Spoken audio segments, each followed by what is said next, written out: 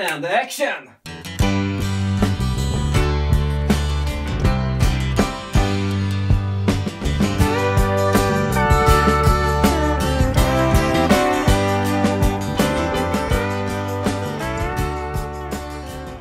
Du tog ju min replik. Okej, då kör vi. Djuret är här. Hej allihopa! Välkomna tillbaka till eh, Fiskekompisens YouTube-kanal. Eh, det är dags att göra en liten film angående vår senaste podd. Och det är ju den som handlar om Norge, tur och retur. Precis, och det är ju så att efteråt kommer man alltid på den grejen. Ni, ni som har varit ute och kollat på bilderna, ni har ju sett att det är ju en bild på när jag stod vid det här campet och vattnet har gått upp enormt. Och det är det som är grejen med Norge. Flommarna är alltså, det, vi, vi pratar liksom eh, 4-5 decimeter per timme. Det är enorma. Vi gick alltså hem på kvällen.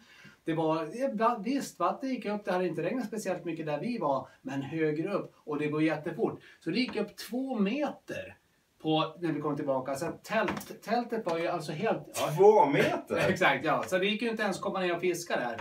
Och vad som händer då sen, för det är egentligen det här du går och väntar på. Du går och väntar på att det ska bli en flom, vattnet ska liksom eh, komma upp. Nisse då, när vattnet går ner och det är fortfarande ganska trögt, han är ju så jävla smart så han ringer över och hör, kan vi köpa ett kort på andra sidan? För det är också en vall, där de liksom är en privat sträcka. Så han springer över på andra sidan och när han skriker, han är ju där ensam, han är nästan 80 bast, han är en riktig mink. Vad som händer är att han smäller på en lax. Då står Martin och tittar på Nisse när han drillar fisk och håller ut flugan. För då kommer ju steget, då smäller han på också. På riktigt? På riktigt. Eh, ut och titta nu, eller så här, vi ser filmen tillsammans och så snackar vi efteråt och ser vad som händer. För det är så här det går till i Norge när stegen kommer. Vi är inte professionella filmare, men det är jävligt spännande och det är exakt så här det blir i Norge. Häng med!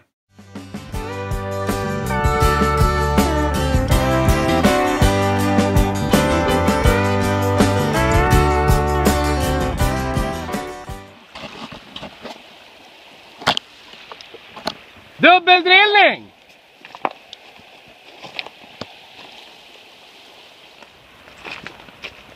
Vad fan Martin! Martin!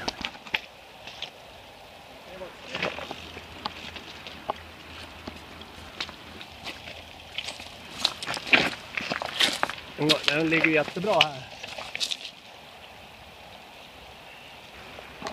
Kolla, kolla Nisses går uppåt. Kolla Nisses. Den går rätt uppåt. Är dubbeldrill och dubbelfilmning. Vad säger du? Tjena! Ja, det är fantastiskt. Det ju bara att Undrar Paul... hur det går för Nisse. Man har rullen knallar Ja. på 100 meters avstånd. Jag har ringt Freddan. Freddan kommer. Men det tror jag inte är speciellt smart. Uff. Ett jävla fiske. Nej men Gaula är ganska dåligt va? Sämsta året Sämsta hittills. året hittills. Jo. Kolla vilken jävla bild. Nu har vi Nisse i bakgrunden.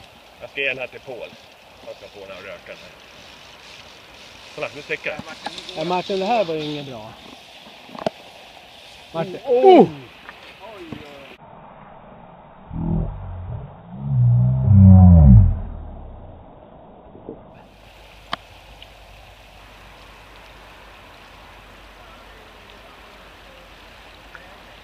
Härligt Nisse!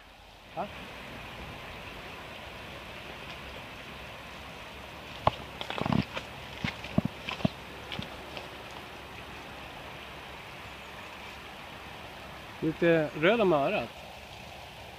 Jag har inte smörjt mig då. Kom nu, korta lina, sidopress och så beachar den här. Jag sitter bara i sista gällbågen nu, så ta det jävligt lugnt. Ja.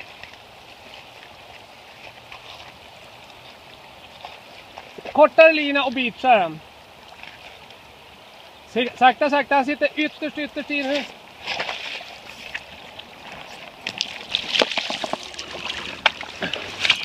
Yes! Kolla hur den, kolla hur den sitter. Nu är jävla frisörnävarna han du. Om jag hugger, jag hugger direkt vet du. Jag fick inte.